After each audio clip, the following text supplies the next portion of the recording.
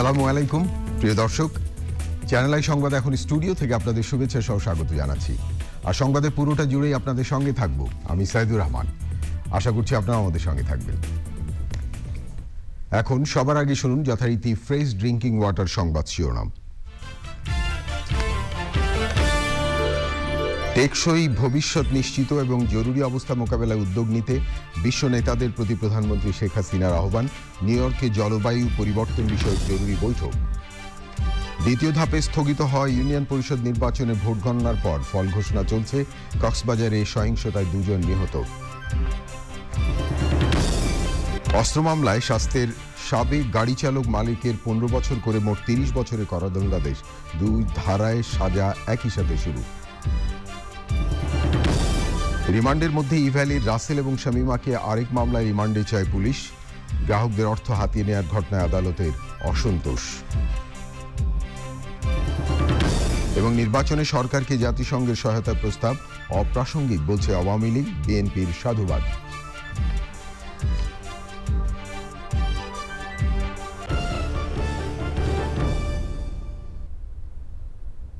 প্রিয় দর্শক, এছাড়াও সোশ্যাল ইসলামী ব্যাংক লিমিটেড বিশেষ সংবাদে থাকছে।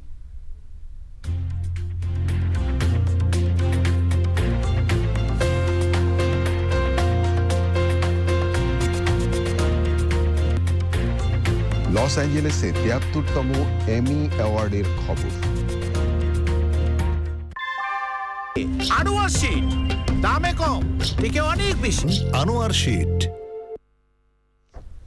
ধন্যবাদ প্রিয় দর্শক আমাদের সাথে যোগ দেওয়ার জন্য। এতক্ষণ সংবাদ শিরোনাম শুনলেন চলুন যাওয়া যাক পুরো খবরে। আগামী প্রজন্মের জন্য টেকসই ভবিষ্যৎ রেখে যাওয়ার জন্য সার্বিক বৈশ্বিক উদ্যোগ নেওয়ার আহ্বান জানিয়েছেন প্রধানমন্ত্রী শেখ হাসিনা। পৃথিবীর জরুরি অবস্থা মোকাবেলার জন্য বিশ্ব নেতাদের প্রতি সাহসী এবং জোরালো পদক্ষেপ গ্রহণ করতে আহ্বান জানান তিনি। এ ব্যাপারে নিউ ইয়র্ক স্থানীয় সময় সোমবার সকালে জলবায়ু পরিবর্তনের বিরূপ প্রভাব মোকাবেলা বিষয়ক নেতৃবৃন্দের এক রুদ্ধদ্বার বৈঠকে ছটি সুপারিশ পেশ করেছেন প্রধানমন্ত্রী শেখ হাসিনা।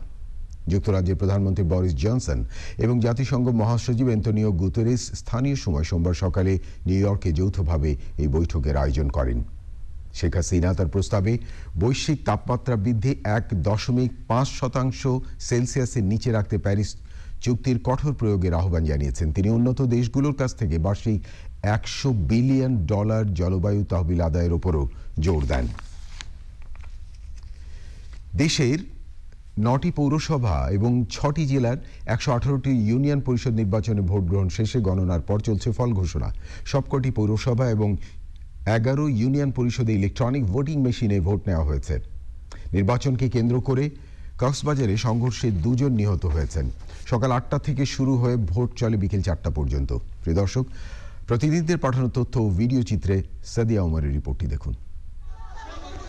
কক্সবাজারে দুটি পৌরসভার চোদ্দটি ইউনিয়নে নির্বাচনের কয়েক জায়গায় অপ্রীতিকর ঘটনা ঘটেছে। মহেশখালীর কুতুবজম ইউনিয়ন পরিষদ নির্বাচনে একটি ভোট কেন্দ্রে নৌকা প্রতীকের প্রার্থী শেখ কামাল ও বিদ্রোহী প্রার্থী মোশারফ হোসেন খোকনের সমর্থকদের মধ্যে গোলাগুলির ঘটনায় একজন নিহত হয়েছেন। নিহতের নাম আবুল কালাম। তিনি বিদ্রোহী প্রার্থী মোশারফ হোসেন খোকনের সমর্থক ছিলেন। ওই ঘটনায় আরও চারজন গুলিবিদ্ধ হয়েছেন।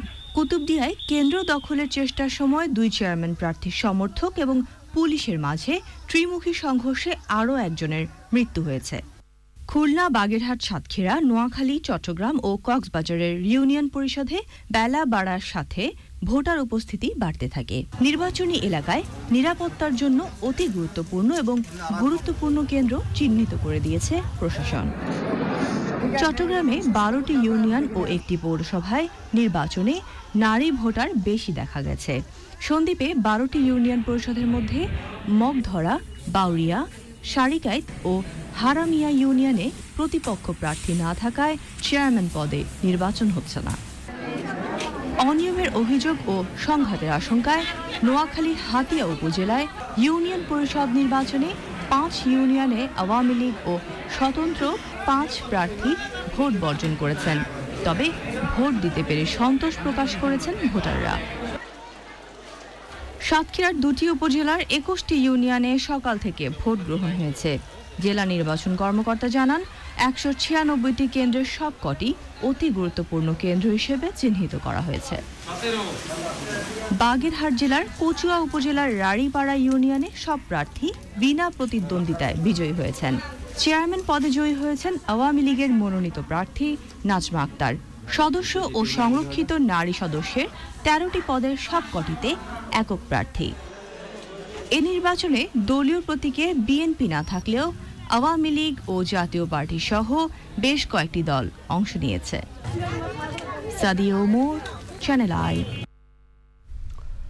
স্বাস্থ্য অধিদপ্তরে আলোচিত গাড়ি চালক আব্দুল মালিককে তিরিশ বছর কারাদণ্ডাদেশের আদেশ দিয়েছেন আদালত। অস্ত্র আইনে তার বিরুদ্ধে দুটি ধারায় মামলা করেছিল র্যাব। পনেরো বছর করে তিরিশ বছর দণ্ডাদেশ হলেও তার সাজা খাটতে হবে পনেরো বছর। রাষ্ট্রপক্ষ রায় সন্তোষ প্রকাশ করেছে। উচ্চ আদালত আপিল করবে আসামি পক্ষ বাকিটা জানাচ্ছেন মাসুর শাকির দুর্নীতির মাধ্যমে কোটি টাকা অর্জনের অভিযোগ থাকা স্বাস্থ্য অধিদপ্তরের গাড়ি চালক আব্দুল মালিক ওরফে বাদলকে তুরাগের বাসা থেকে গত বছরের বিশে সেপ্টেম্বর বিদেশি পিস্তল গুলি ম্যাগাজিন জাল নোট ও মোবাইল ফোন সহ গ্রেপ্তার করে দুটি ধারায় মামলা করেছিল র্যাব। এক বছর পর তার রায় দিল ঢাকা মহানগর দায়রা জজ আদালত। দুটি ধারায়। আর্মসের মামলায় পিস্তল যে পিস্তলের যে মামলায় তাকে পনেরো বছর এবং গুলি যা পাওয়া গেছে ম্যাগজিন সহ সেদের পনেরো বছর। এই মোট দুইটি ধারায় তিরিশ বছরের সশ্রম কারাদণ্ড দেওয়া হয়েছে। মালিকের আইনজীবী ও পরিবারের দাবি মিথ্যা অভিযোগে মামলা হয়েছে। তারা উচ্চ আদালতে যাবেন। র্যাব সদস্যরা দাবি করছে ওনারা ঘরে ঢুকলেন। ঢোকার পরবর্তী পর্যায়ে ওনারা তোষুক উল্টালেন তোষুকের নিচ থেকে জাল টাকা পেলেন। ওনাদের দাবি মতে প্রথমত ওনারা একটা জব্দ তালিকা তৈরি করলেন। তারও বেশ কিছুক্ষণ পর আবার তোষুক উল্টালেন। তখন তোষুক কিছু অস্ত্র পাইলেন। এটা কীভাবে সম্ভব আমি জানি না। কারণ যেখানে অস্ত্রের ওজন বেশি টাকার ওজন কম হবে। তাহলে তোষুক যখন উল্টো পাল্ট করা হচ্ছে, তখন অস্ত্রটাই বের হয়ে আসার কথা। দ্বিতীয় পর্যায়ে অস্ত্র কীভাবে বের হয়ে আসবে? মালিক স্বাস্থ্য মন্ত্রণালয়ের সাবেক ডিজি আবুল কালাম আজাদের গাড়ি চালক ছিলেন। তার বিরুদ্ধে অবৈধ সম্পদ অর্জনের মামলাও চলমান রয়েছে। Masrur Shakil, channel I, Dhaka.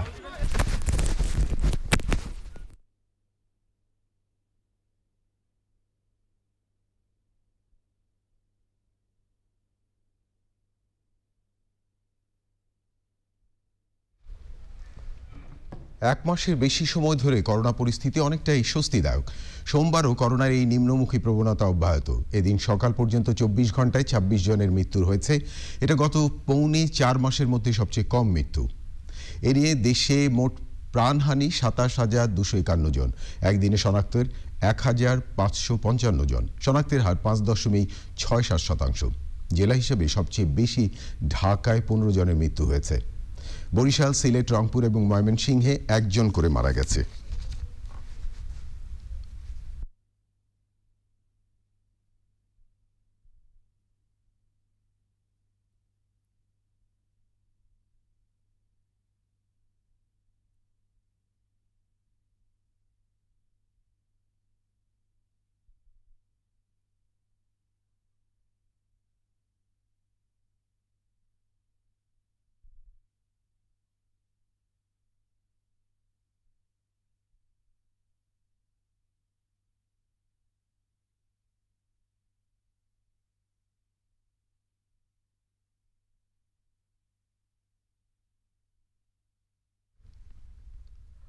এক মামলায় রিমান্ড শেষ না হতেই ইভ্যালি চেয়ারম্যান রাসেল এবং সিও শমিমাকে ধানমন্ডি থানায় আরেক মামলায় রিমান্ড চেয়েছে পুলিশ। গুলশান থানার মামলায় সোমবার তার রিমান্ড শেষ হচ্ছে। দেখুন এনামুল কবির রূপমের রিপোর্টটি। রাজধানীর গুলশান থানায় আরিফ বাকের নামে এক গ্রাহকের দায়ের করা প্রতারণা ও হুমকি দেওয়ার মামলায় ইভ্যালি চেয়ারম্যান শামিমা নাসরিন এবং সিইও মোহাম্মদ রাসেলের রিমান্ড চলছে। মঙ্গলবার তাদের আদালতে হাজির করে তদন্তের অগ্রগতি জানাবে পুলিশ। জিজ্ঞাসাবাদ চলার মধ্যেই প্রতারণা, জালিয়াতি ও হুমকি দেওয়ার অভিযোগে ইভালির ওই দুই শীর্ষ কর্মকর্তা সহ বিশ জনের নামে আরেকটি মামলা করেছেন ব্যবসায়ী কামরুল ইসলাম। ওই মামলায়ও শামিমা এবং রাসেলকে গ্রেপ্তার দেখাতে আদালতের অনুমতি চেয়েছে পুলিশ।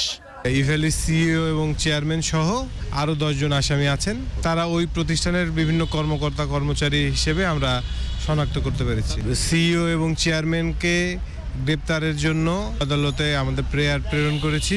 সাত দিনের রিমান্ডের আবেদন সহ। তাদের বিরুদ্ধে অভিযোগ হচ্ছে বাদীর যে তাকে বিভিন্নভাবে যে প্রতারণা করা হয়েছে। জিজ্ঞাসাবাদ শেষে প্রয়োজন হলে আবারও রিমান্ড আবেদন জানানো হতে পারে বলছেন গুলশান থানার তদন্ত কর্মকর্তারা। Enamul Kabir Rupam channel I Dhaka. প্রলোভনের মাধ্যমে গ্রাহকদের অর্থ হাতিয়ে নেওয়ার ঘটনা চরম অসন্তোষ প্রকাশ করেছে হাইকোর্ট। আদালত বলেছেন, যথাযথ নিয়ন্ত্রণ না থাকায় বিভিন্ন প্রতিষ্ঠান হালাল ব্যবসা সহ বিভিন্ন নামে মানুষদের কাছে টাকা নিয়ে যাচ্ছে। সরকার এই বিষয়ে যখন পদক্ষেপ নিচ্ছে, তখন গ্রাহক হয়ে যাচ্ছে নিঃস্ব। ই কমার্স ব্যবসাকে তদারকি করার জন্য নিয়ন্ত্রণ কর্তৃপক্ষ গঠনের নির্দেশনা চেয়ে রিট করেছেন এক আইনজীবী। দেখুন, মাঝালক মান্নার রিপোর্টটি। অনিবন্ধিত ঋণ প্রদানকারী প্রতিষ্ঠান বন্ধের নির্দেশনা চেয়ে রিট আবেদনের শুনানিতে আবেদনকারী হাইকোর্টকে জানান দেশে সাতশো ছেচল্লিশটি নিবন্ধিত ক্ষুদ্র ঋণ বিতরণকারী প্রতিষ্ঠান আছে। তাদের মধ্যে একশোর বেশি প্রতিষ্ঠানের নিবন্ধন বাতিল করা হয়েছে। এ সময় আদালত পিকে হালদারের প্রতিষ্ঠান, যুবক এসান গ্রুপ সহ বিভিন্ন প্রতিষ্ঠানের মাধ্যমে বছরের পর বছর টাকা পাচার আর গ্রাহকের টাকা হাতিয়ে নেওয়ার বিষয়ে কড়া সমালোচনা করেন। আদালত কিন্তু বিভিন্ন সময় এই শুনানিতে বলেছেন যে, দেখা যাচ্ছে যে সরকার তৎপর হচ্ছে, কিন্তু এমন সময় তৎপর হচ্ছে যে সময়ে লুটপাট করে প্রায় একদম শেষ হয়ে গেছে। প্রায় দেখা যাচ্ছে যে তারা চলে গেছে এবং আমাদের আইনেও কিছু ব্যত্যয় আছে। কীরকম? যে লোক মাইরা দিছে ধরেন টাকা মেরে দিছে পাঁচ কোটি তারে পাঁচ হাজার টাকা ফাইন করে কি লাভ? সে তো বলবে যে আমার ফাইন দাও পাঁচ হাজার টাকা দিয়ে আমি কোন রকম মুক্ত হয়ে যাই। যে আমার দরজা যদি ঠিক না থাকে তাহলে ঘরের ভিতরে ঢুকবে বের হবে মানুষ আমার দরজাটা তো ঠিক থাকতে হবে। এই বলে আগামী সাতাইশ তারিখে আমাদের এই অর্ডারের জন্য রেখেছে। গ্রাহক সহ সকলের সুরক্ষার নির্দেশনা চেয়ে রিট আবেদন করেন সুপ্রিম কোর্টের আইনজীবী। ডিজিটাল কমার্স নীতিমালা দুই হাজার আঠারো যে আইনটা আছে সে আইনের আলোকে একটি রেগুলেটরি বডি যেন তৈরি করা হয়, এই ই কমার্স বাণিজ্যটাকে নিয়ন্ত্রণ করার জন্য, তদারকি করার জন্য এ মর্মে একটা ডাইরেকশন চেয়েছি। এবং পাশাপাশি এখানে বলেছি যে গভর্নমেন্টকে যেন একটা রিপোর্ট দেয়া হয় গভর্নমেন্ট যেন একটা রিপোর্ট দেয় যে তারা এই ই কমার্স বাণিজ্যকে রেগুলেট করার জন্য তারা কি কি পদক্ষেপ নিয়েছে ইভ্যালি ই অরেঞ্জ সহ ই কমার্স কোম্পানির গ্রাহকদের অর্থ ফেরত দেয়া এবং প্রতারণার সাথে জড়িত ব্যক্তিদের চিহ্নিত করতে বিচার বিভাগীয় ব্যবস্থা চেয়ে নোটিশ দিয়েছেন সুপ্রিম কোর্টের একজন আইনজীবী। মাঝরলক মান্না, চ্যানেল আই, ঢাকা। আগামী জাতীয় নির্বাচনে সরকারকে সহায়তার কথা জানিয়ে ঢাকা জাতিসংঘের আবাসিক প্রতিনিধি মিয়া সেপুর বক্তব্যকে অপ্রাসঙ্গিক বলেছে আওয়ামী লীগ। তবে এই জাতিসংঘের এই আহ্বানকে সাধুবাদ জানিয়েছে বিএনপি। আরও জানাচ্ছেন ওবায়দুল রশিদ। রোববার diplomatic correspondent association Bangladesh, DCAB আয়োজিত ডিকাব টকে অংশ নিয়ে ঢাকায় নিযুক্ত জাতিসংঘের আবাসিক প্রতিনিধি মিয়া সেপ্পো বলেছিলেন, সরকার চাইলে আগামী জাতীয় নির্বাচন প্রক্রিয়ায় জাতিসংঘ সহযোগিতা করবে। As is the case in any lead up to an election period. এ বিষয়ে আওয়ামী লীগ বলেছে অতীতের মতো আগামী নির্বাচনও বর্তমান সরকার কারও সাহায্য ছাড়াই সুষ্ঠুভাবে করতে পারবে। এটা কোনো অফিসিয়াল কোনো বক্তব্য নয়। আর এটি খুবই একটা অবাস্তব কথা। এটা নির্বাচনের প্রভাবকে আহ, কতজনই তো কত কথা বলতে পারে। এটার সাথে আমি মনে করি না যে নির্বাচনের পরে সম্পর্ক আছে নির্বাচনের কোনো প্রভাব ফেলবে না। অনেক কর্মকর্তা যে কর্মকর্তার কথা বলছেন তারা কিন্তু এর আগে বহু কথা বলেছেন। তবে বিএনপি বলছে ভিন্ন কথা। তাদের অভিযোগ দেশের নির্বাচনের পরিবেশ সরকার নষ্ট করেছে বলেই জাতিসংঘের আবাসিক প্রতিনিধি এ প্রস্তাব দিয়েছেন। জাতিসংঘ যে আগ্রহ প্রকাশ করেছে থ্রো দেয়ার মানে রেসিডেন্ট কোঅর্ডিনেটর এটা অত্যন্ত ইতিবাচক আকাঙ্ক্ষার কথা বলেছেন আমাদের দল বাংলাদেশ জাতীয়তাবাদী দলের তরফ থেকে আমরা জাতিসংঘ যদি এই ধরনের কোনো এফেক্টিভ কোনো স্টেপ নিতে চায় অ্যাসিস্ট্যান্স দিতে চায় আমাদের দলে এটাকে নিঃসন্দেহে সাধুবাদ জানায় এবং ওয়েলকাম করে। সংবিধান অনুযায়ী আগামী জাতীয় নির্বাচন যথাসময়ে অনুষ্ঠিত হবে বলেছে আওয়ামী লীগ। আর নির্দলীয় নিরপেক্ষ সরকারের অধীনে নির্বাচনের দাবি থেকে সরে আসেনি BNP. Obaidul Rashid channel I Dhaka. প্রিয় দর্শক এবারে আই স্পোর্টস।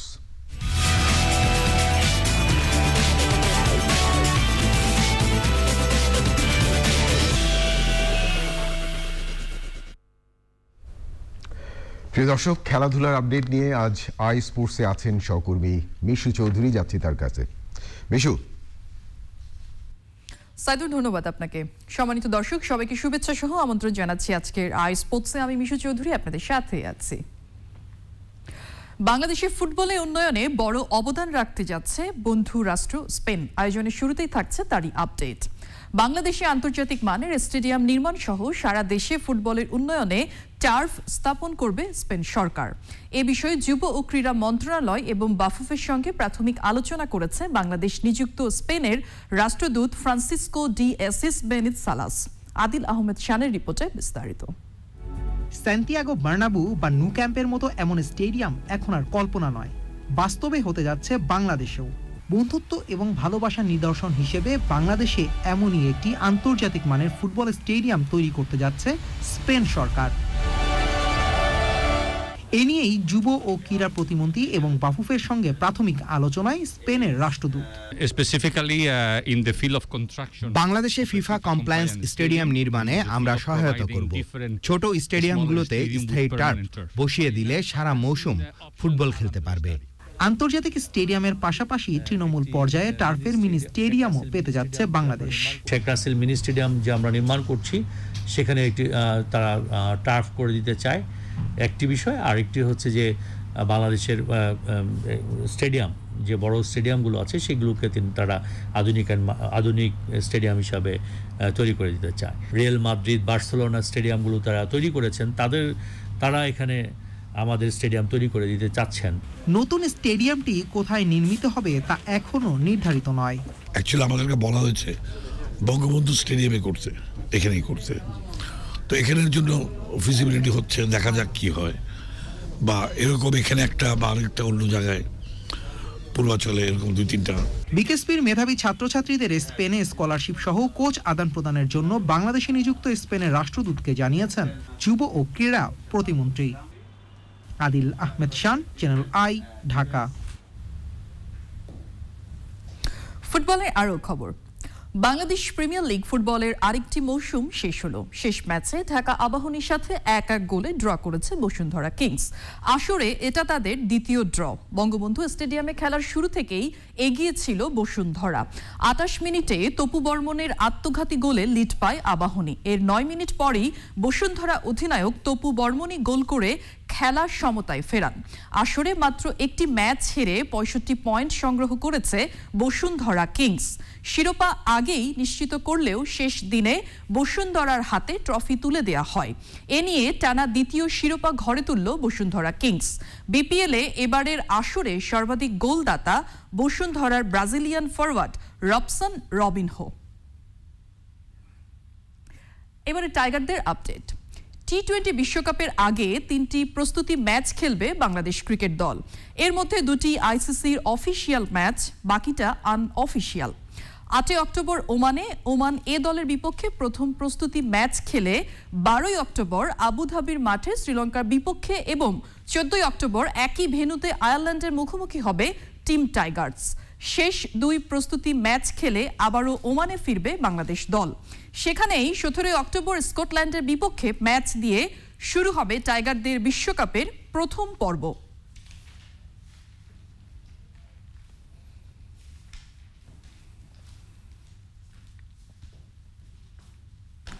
ক্রিকেটের আরও খবর জানাচ্ছি। কদিন আগে জানিয়েছিলেন আইসিসি টি টোয়েন্টি বিশ্বকাপ শেষে ছাড়ছেন ভারতীয় টি টোয়েন্টি দলের নেতৃত্ব। এবার আইপিএলে রয়্যাল চ্যালেঞ্জার্স বেঙ্গালুরু আর সিবি দলের অধিনায়কত্ব ছাড়ার দিন তারিখও জানিয়ে দিলেন কিং কোহলি। সামাজিক যোগাযোগ মাধ্যমে পোস্ট করা আর সিবির এক ভিডিও বার্তায় তিন ফরম্যাটে বর্তমান ভারতীয় দলের অধিনায়ক কোহলি জানিয়েছেন, আইপিএলে অধিনায়ক হিসেবে এটাই তার শেষ মৌসুম। এবারের আসর শেষে আরসিবির নেতৃত্বে আর থাকছেন না তিনি। নিজের ওপর থেকে মানসিক চাপ কমাতেই এই সিদ্ধান্ত। এছাড়া নিজের ব্যাটিং প্রতি মনোযোগী হওয়ার বিষয়টিও আছে। দুই হাজার তেরো সালে অধিনায়কের হট সিটে বসার পর কোহলি আইপিএলের একশো বত্রিশ ম্যাচে আরসিবিকে নেতৃত্ব দিয়েছেন। তবে জেতাতে পারেননি একটিও শিরোপা।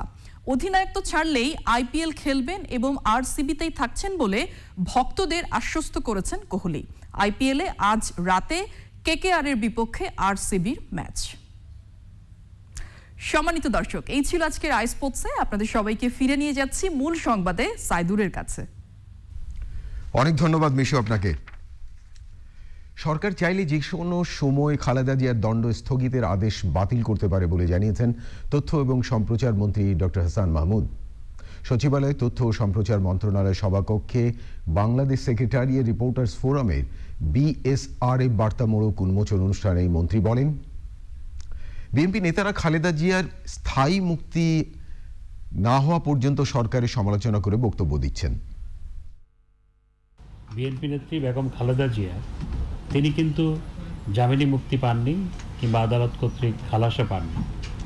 তাকে মাননীয় প্রধানমন্ত্রী আইনে বল বলে, প্রদত্ত ক্ষমতা বলে সাজা স্থগিত করেছেন এবং সেই কারণে তিনি কারাগারের বাইরে আছেন। এই জন্য তো বিএনপি সক্রিয় আদায় করা উচিত। সরকারকে ধন্যবাদ দেওয়া উচিত। ছয় মাসের জন্য যে সাজা স্থগিত করা হয়েছে, সরকার যে কোনো সময় চাইলে সেই আদেশ বাতিল করতে পারে। এবং সেই আদেশ যদি আগামীকাল বাতিল হয় তাহলে আগামীকালেই বেগম খালেদা জিয়াকে কারাগারে ফেরত যেতে হবে। এটিও বিএনপির মনে রাখার প্রয়োজন রয়েছে বলে আমি মনে করি। ডক্টর হাসান মাহমুদ, তথ্য এবং সম্প্রচার মন্ত্রী কথা বলছিলেন। আমার হাতে আরও খবর আছে, প্রিয় দর্শক। দেখতে থাকুন চ্যানেল আই সংবাদ। এবারে অশোক লেলেন, ইফাদ অটোস বিরতি, আর বিরতির পর যা দেখতে পাবেন। রাশিয়ার পাম স্টেট ইউনিভার্সিটিতে গোলাগুলিতে আটজন নিহত, শিক্ষার্থীদের সতর্ক থাকতে কর্তৃপক্ষের টেলিগ্রাম বার্তা। পি খালেদা জিয়ার চিকিৎসা। ব্রিফিংয়ে ওবায়দুল কাদের বলেন, বর্তমান সরকার খালেদা জিয়া কিংবা বিএনপিকে ভয় পায় না, বরং উদারতা দেখিয়ে খালেদা জিয়ার সাজা চতুর্থবারের মতো স্থগিত করা হয়েছে।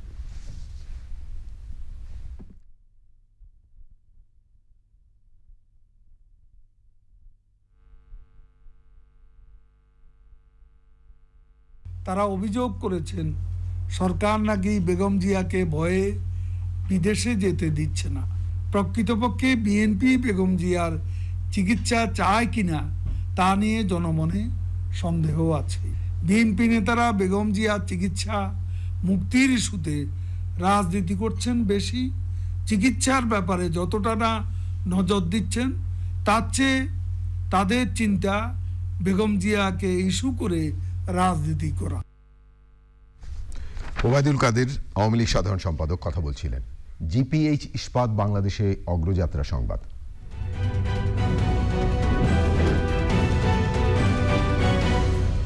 নির্মাণে প্রচলিত স্টিল বেছে নেবেন নাকি বেছে নেবেন এশিয়ার প্রথম কোয়ান্টাম ইলেকট্রিক আর্ক ফার্নসে তৈরি বিশ্ব সেরা স্টিল। জিপিএইচ ইস্পাত দৃঢ়তার প্রতিশ্রুতি। সেন্ট্রাল অক্সিজেন প্ল্যান্ট এবং আইসিইউ বেড স্থাপন ও প্রয়োজনীয় ওষুধ সরবরাহের মাধ্যমে মেহেরপুরে মেহেরপুরে স্বাস্থ্যসেবার পরিবর্তন এসেছে। মেহেরপুর জেনারেল হাসপাতাল এগারো তলা ভবন ও নার্সিং কলেজ সহ বিভিন্ন স্থাপনা নির্মাণ করা হচ্ছে। মেহেরপুর থেকে আরও জানাচ্ছেন গোলাম মুস্তফা। বারবারই উন্নয়নের প্রতিশ্রুতি দেওয়া হলেও জনবল শয্যা সংখ্যা ও চিকিৎসা সরঞ্জাম সহ নানা সংকট নিয়ে চলছিল মেহেরপুর জেনারেল হাসপাতাল। তবে দুই হাজার বিশ সাল থেকে অবস্থার পরিবর্তন হতে থাকে। চিকিৎসা সেবায় যুক্ত হয়েছে সেন্ট্রাল অক্সিজেন প্লান্ট পাঁচটি আইসিইউ বেড ও এইচডিইউ বেড পাঁচটি। অক্সিজেন কনসেন্ট্রেটর ও হাইফ্লো নেজাল ক্যানোলার ব্যবস্থাও রয়েছে। চিকিৎসক ও নার্সও বাড়ানো হয়েছে। একটা কাউন্টারের কারণে ধরেন দীর্ঘ এক দেড়শো নাইন থাকে। আগে ওষুধ দিত না এখন ওষুধ দেয় আমরা ভালো পাই। হাসপাতাল কর্তৃপক্ষ জানিয়েছে কোভিড উনিশের সর্বোচ্চ চিকিৎসা সহ সব ধরনের সেবা পাচ্ছেন রোগীরা। এছাড়াও কিডনি রোগীদের জন্য নির্মাণ করা হচ্ছে দশ বেডের ডায়ালাইসিস ওয়ার্ড। আজকে মেহেরপুরের সেবার মান অনেক বৃদ্ধি পেয়েছে। এখানে সব ধরনের চিকিৎসাই চলমান আছে। নির্মাণাধীন এগারোতলা ভবন ও নার্সিং কলেজ সহ বেশ কিছু স্থাপনার কাজ দুই হাজার বাইশ সাল নাগাদ শেষ হবে বলে জানান সংশ্লিষ্টরা। এই কাজটি আমরা দুই হাজার উনিশ সালে শুরু করি। আশা করছি দুই সালের ভিতর আমরা কাজটা সম্পন্ন করব।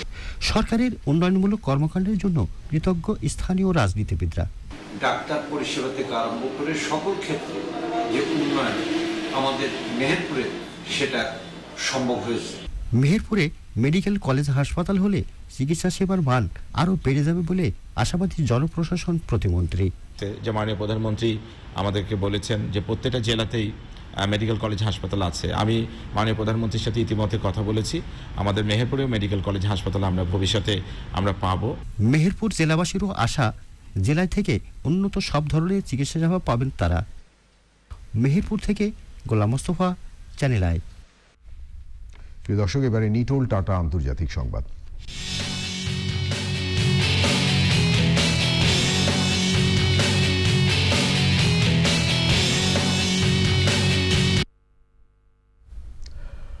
রাশিয়ার পাম স্টেট ইউনিভার্সিটিতে গোলাগুলিতে আটজন নিহত হয়েছেন, আহত হয়েছে চব্বিশ জন। তদন্ত কমিটি জানিয়েছে, পাম শহরের ওই বিশ্ববিদ্যালয়ে এক শিক্ষার্থী অতর্কিত গুলি চালাতে থাকে, ঘটনাস্থলে পাঁচজনের মৃত্যু হয়। শিক্ষার্থীদের নিরাপদে থাকতে টেলিগ্রাম চ্যানেলে বার্তা পাঠিয়েছে বিশ্ববিদ্যালয় কর্তৃপক্ষ। সন্দেহভাজন ওই বন্দুকধারী এক ছেলে শিক্ষার্থী ছিল এবং তাকে চিহ্নিত করা গেছে বলে জানিয়েছে তদন্ত কমিটি। হামলার আগে সামাজিক যোগাযোগ মাধ্যমে আগেই লিখেছিল যে তার কোনো রাজনৈতিক ইনফ্লুয়েন্স নেই। হামলার সাথে অন্য কেউ জড়িতও নয়। এবারে সোশ্যাল ইসলামী ব্যাংক লিমিটেড বিশেষ সংবাদ।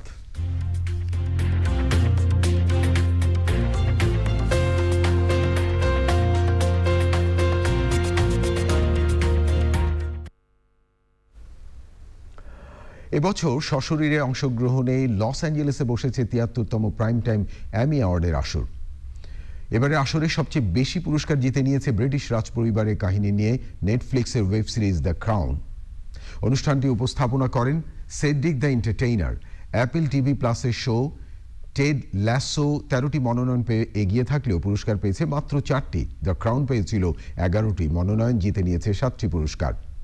অস্ট্যান্ডিং কমেডি সিরিজ পরিচালনা চিত্রনাট্য সহ অভিনয়ের চারটি বিভাগে টবিয়াস মেঞ্জিস অলিভিয়া কোলম্যান জোস কনার এবং গিলিয়ান অ্যান্ডারসন জিতে নিয়েছেন পুরস্কার। জ্যাসন সুইডিসকিস একটি কমেডি সিরিজে অভিনয়ের জন্য সেরা অভিনেতার পুরস্কার জিতেছে। জিন স্মার্ট সেরা অভিনেত্রী পুরস্কার জিতেছে, এই ছবিও ম্যাক্স সিরিজ হ্যাক্সের জন্য। এবারে অর্থনীতি সংবাদ।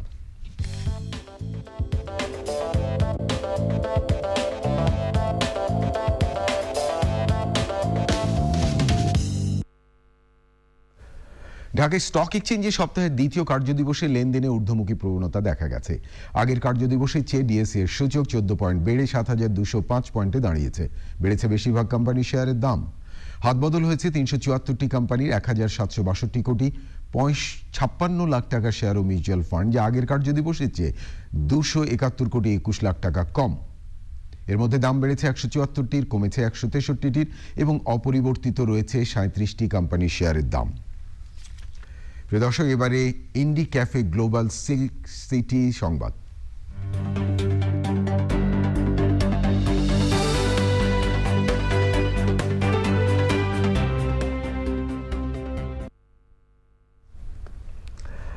চলন্ত ট্রেনে নিরাপদে সন্তান প্রসবে সহায়তার জন্য দুই যাত্রী, এক সাংবাদিক এবং কর্তব্যরত রেল কর্মচারীদের সম্বর্ধনা দিয়েছে রেল কর্তৃপক্ষ। ক্রেস্ট ও সম্মাননা দিয়ে তাদের সম্মানিত করেন পশ্চিমাঞ্চল রেলওয়ের জেনারেল ম্যানেজার মিহিরকান্তি গুহ। বৃহস্পতিবার রাতে খুলনা থেকে রাজশাহীগামী সাগরদাড়ি এক্সপ্রেসে কুষ্টিয়ার এক নারীর প্রসব বেদনা শুরু হয়। বিষয়টি পিএ সেটের মাধ্যমে আরোহীদের প্রত্যেককে জানানো হয়। সে সময় এগিয়ে আসেন একজন নবীন সার্জন, গার্ড, টিটি এবং ক্যারেজ অ্যাটেন্ডেন্ট। সম্বর্ধনা প্রাপ্ততা হলেন যাত্রী সার্জন ফারজানা ও Mukti Rani Karmakar. Carriage attendant Sabbir Hossain Jhalak guard Ajibar এবং সাংবাদিক সুজাউদ্দিন ছোটন। এবারে পুবালি ব্যাংক লিমিটেড কৃষি সংবাদ।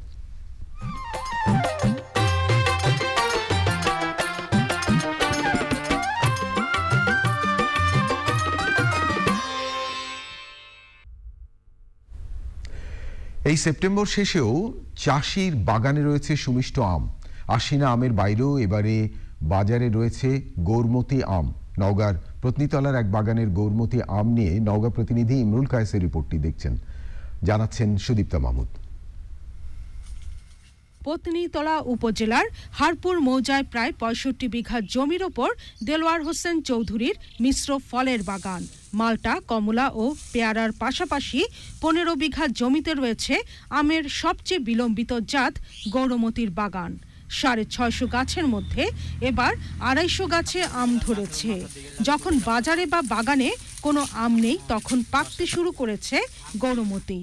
বর্তমানে আমি একশো পার মন আম বিক্রি করেছি। প্রথম এই আম বিক্রি হয়েছিল ছয় হাজার সাতশো থেকে শুরু করে সর্বশেষ দুই তারিখে বারো হাজার তিনশো পর্যন্ত মন ধরে বিক্রি করেছি। এখন পর্যন্ত একশো মন পার হয়ে গেছে। আমার ষোলোশো আশিটা গরুমতি চারা গাছ আছে। তার মধ্যে চারশো গাছে এবার ফল পেয়েছি। বাদ বাকি বয়স কমের জন্য ফল পাইনি। এ অঞ্চলের অনেক উদ্যোক্তা গৌরমতি আম বাগান করতে আগ্রহী হয়েছেন। সে চাষ করে নিজে স্বাবলম্বী হয়েছে। পাশাপাশি আমরাও দেখা দেখি তার কাছ থেকে এগুলো দেখে জেনে উৎসাহিত হয় আমরাও পরবর্তীতে এরকম চাষবাসে অংশগ্রহণ করি। সঠিকভাবে এর পরিচর্যা করতে পারি তাহলে শুধু বাংলাদেশ না আমরা এটাকে বাইরেও কিন্তু পাঠাতে পারব। Sudipta Mahmud channel I. প্রিয় দর্শক এখন দেখবেন প্রকৃতি সংবাদ।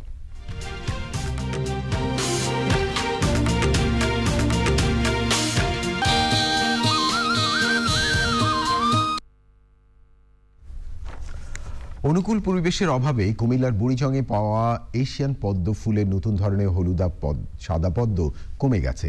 বিশেষজ্ঞদের আশঙ্কা, এখনই সংরক্ষণে উদ্যোগ না নিলে সম্প্রতি আবিষ্কার হওয়া গোমতী পদ্ম হারিয়ে যেতে পারে। বুড়িচংয়ের পদ্মবিল নিয়ে আবুল কাশেমের তোলা ভিডিও চিত্রে শৌমিক আহমেদের দুই পর্বের ধারাবাহিকের প্রথম পর্ব দেখুন এখন। বিশ্বে দুই প্রজাতির পদ্ম ফুলের একটি এশিয়ান, অন্যটি আমেরিকান। গত বছর হলুদাভ সাদা রঙের এশিয়ান পদ্মের নতুন একটি প্রকরণ পাওয়া যায় কুমিল্লার বুড়িচংয়ের দক্ষিণ গ্রামের এই পদ্মগুলি ঢাকা বিশ্ববিদ্যালয়ের উদ্ভিদ বিজ্ঞানীরা এর নাম দেন গোমতী পদ্ম। আমরা গত বছর এই সময়ের একটু আগে আসছি, সরজমিনে গবেষণা করেছি তারপরে কিছু ম্যাটেরিয়াল আমরা ল্যাবে নিয়ে গেছি। এটা আমাদের যে সাদা পদ্ম আছে এবং গোলাপি পদ্ম আছে, দুইটা পদ্মই কিন্তু একই স্পিসিসের অধীনে দুটো কালার তার অধীনে একটা কাল্টিভার হিসেবে আমরা এটাকে আইডেন্টিফাই করলাম, যে নেলাম্বু, নুসিপেরা কাল্টিভার গুমতি। সারা পৃথিবীতে এটা আমরা বিভিন্ন মাধ্যমে এটা প্রচার করেছি এবং কিউ গার্ডেনের যে ভদ্রলোক সারা পৃথিবীর পদ্মের এক্সপার্ট উনি আমাদের সাথে একমত হয়ে বলছে এটা একটা কাল্টিভার দেশ জুড়ে গোমতী পদ্ম ফুল ছড়িয়ে দিতে বিজ্ঞান ভিত্তিক সংরক্ষণ ব্যবস্থাপনার পরামর্শ দিয়েছেন বিশেষজ্ঞরা। এবারে কিন্তু তার ফুলের সংখ্যা কমে গিয়েছে এবং গাছের সংখ্যা কমে গিয়েছে। এই বিলে অনেক গভীর অঞ্চল সেখানে শুধু এই হলুদাব পদ্মগুলি আছে। কৃষকরা চাষাবাদ করে না। অর্থাৎ সেই জায়গা ছিল আনডিস্টার্ব যদি এই বিলকে সংরক্ষণ করতে হয় তাহলে কিন্তু এটা কিন্তু আরও ব্যাপক উদ্যোগ নিতে হবে এবং পদ্মের যে স্টোলন বা তার গাছ গজানোর জন্য নিচের যে অংশটুকু সেটাকে কিন্তু প্রাথমিক অবস্থায় রক্ষা করতে হবে। এবং সেটাকে যদি তুলে ফেলে দেয় হার্বিসাইড দেয় এবং সেটাকে যদি ডিস্টার্ব করা হয় তাহলে কিন্তু এই হলুদাব পদ্ম অদূর ভবিষ্যতে কিন্তু হারিয়ে যেতে পারে। দেশে আরও কোথাও এশিয়ান পদ্মের কোনো প্রকরণ আছে কিনা তা খতিয়ে দেখছেন ঢাকা বিশ্ববিদ্যালয়ের উদ্ভিদ বিজ্ঞানীরা। বিশেষজ্ঞরা বলছেন এই পদ্মটির বেড়ে ওঠা অত্যন্ত স্পর্শকাতর। তাই বিলটির পরিবেশ ও জীববৈচিত্র্য ধরে রাখার উপর গুরুত্ব দিচ্ছেন তারা। কুমিল্লার বরির চং থেকে সৌমিক আহমেদ চ্যানেল এবারে ধামাকা শপিং ডট কম তথ্য প্রযুক্তি সংবাদ।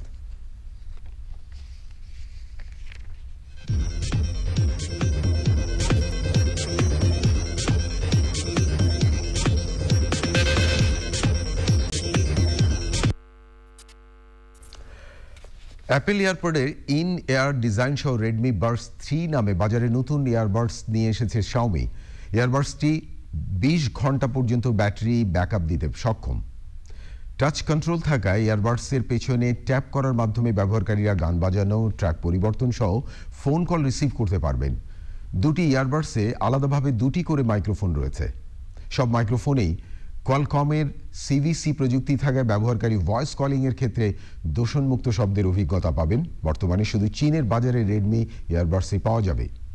এর বাজার মূল্য দু টাকা থেকে পাঁচ হাজার টাকার মধ্যে হতে পারে। প্রিয় দর্শক, এবার এক্সিম ব্যাংক বাণিজ্য সংবাদ।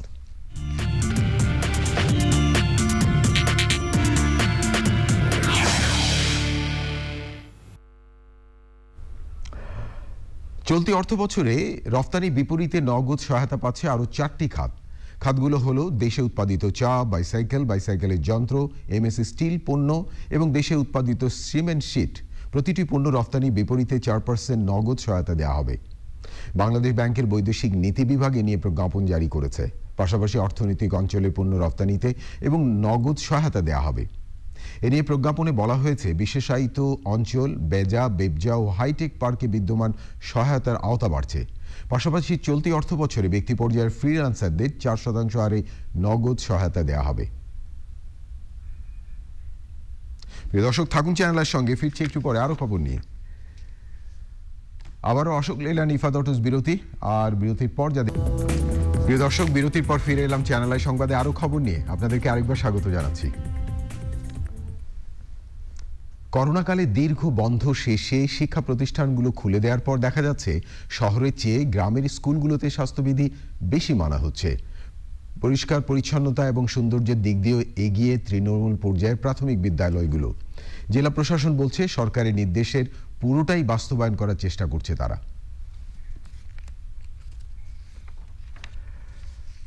মৎস্য সম্পদ রক্ষা এবং উৎপাদন বৃদ্ধিতে সরকার বিভিন্ন প্রকল্প বাস্তবায়ন করছে বলে জানিয়েছেন মৎস্য ও প্রাণী সম্পদ মন্ত্রী সমম রেজাউল করিম। সোমবার পটুয়াখালীর কলাপাড়ায় বাংলাদেশ মৎস্য গবেষণা ইনস্টিটিউট নদী উপকেন্দ্রের অফিস কাম গবেষণাগার ভবন এবং মহিপুর আলিপুরে বাংলাদেশ মৎস্য উন্নয়ন কর্পোরেশন মৎস্য অবতরণ কেন্দ্র উদ্বোধন করে কথা বলেন মন্ত্রী। মন্ত্রী বলেন, উপকূলীয় জেলার জেলেদের নির্ভুল তালিকা প্রণয়ন ও তাদের সহায়তা বৃদ্ধি এবং বিকল্প কর্মসংস্থানেও বিভিন্ন প্রকল্প বাস্তবায়ন করা হবে।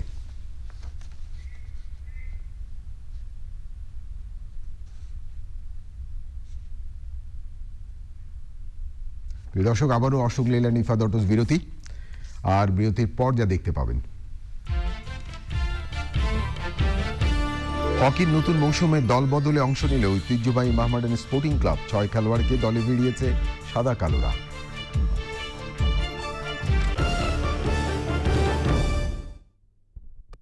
এটাই সঠিক সময় নিজেদের বাড়িতে ওঠার। কাপড়ের ময়লা দুর্গন্ধ বাড়ছে রোজগার না। লেখাপড়া শিখেছো বলে কি স্বামীকে শেখাবে? জামা কাপড় আর চিন্তা ভাবনা দুইটা থেকেই পুরোনো ময়লা দূর করতে হবে। শেখাবো নিজের কোচিং ক্লাসে। দুজনে রোজগার করব। নিজেদের বাড়িতে উঠবো। ভিল টুইন ওয়ান আপনার উজ্জ্বলতা কি হারিয়ে গেছে? না লুকিয়ে আছে ত্বকের ডেড সেলসের নিচে। নতুন Pond's white beauty face wash প্রিয় দর্শক সবশেষ খবরগুলো নিয়ে আবারও ফিরে এলাম চ্যানেল আই সংবাদে। পাবনার ঈশ্বরদী রূপপুরে নির্মাণাধীন পারমাণবিক বিদ্যুৎ প্রকল্পে কাজ করার সময় আবারও দুর্ঘটনায় দুই শ্রমিকের মৃত্যু হয়েছে। এ ঘটনায় গুরুতর আহত হয়েছেন অপর একজন। দুপুরে রূপপুর প্রকল্পের ভেতরে দুই নম্বর চুল্লির কাছে এই ঘটনা ঘটে। নিহতরা হলেন ঈশ্বরদী উপজেলার মনিরুজ্জামান মুনি ও সিরাজগঞ্জের সাজাদপুরের মাধব চন্দ্র সরকার। কর্তৃপক্ষ জানিয়েছেন, হতাহত তিনজনই রূপপুর প্রকল্পে ঠিকাদার প্রতিষ্ঠান রেসেমে কর্মরত ছিলেন। গুরুতর আহত দিনবন্ধুকে রাজশাহী মেডিকেল কলেজ হাসপাতালে পাঠানো হয়েছে। উল্লেখ্য, রূপপুর প্রকল্পে নির্মাণ কাজ শুরুর পর থেকে পর্যন্ত অন্তত পঞ্চাশ শ্রমিকের মৃত্যু হয়েছে। প্রিয় দর্শক, এবারে বাংলাদেশের স্পেশালাইজ হসপিটাল খেলার খবর।